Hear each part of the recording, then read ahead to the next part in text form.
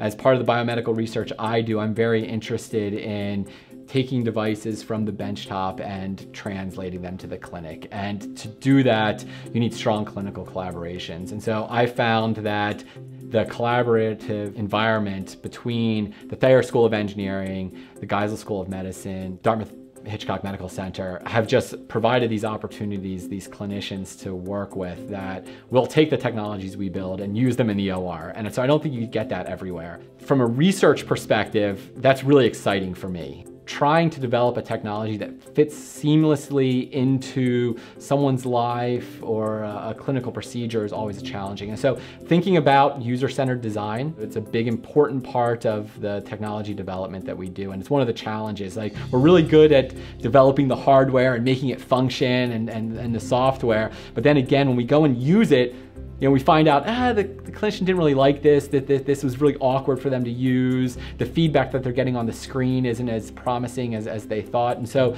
so taking that and, and trying to develop technologies that can be deployed in an effective way. And so using human-centered design, user-centered design approaches to tackle some of these challenges has, been one of the ways we've been trying to improve our design efforts in terms of making a translatable device.